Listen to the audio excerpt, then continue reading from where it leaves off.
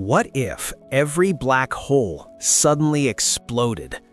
Black holes are the most mysterious and destructive forces in the universe. When one explodes, it can permanently reshape galaxies and cosmic structures.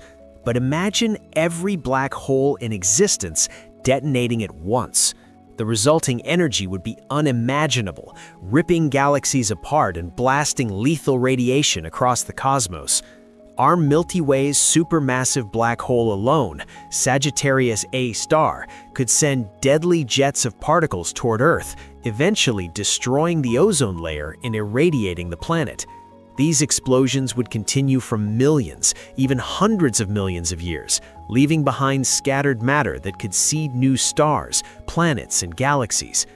Near a black hole, time slows dramatically, making events seem to stretch for billions of years. And if Earth were sucked in, that's a story for another what if. Like and subscribe to explore the craziest cosmic events.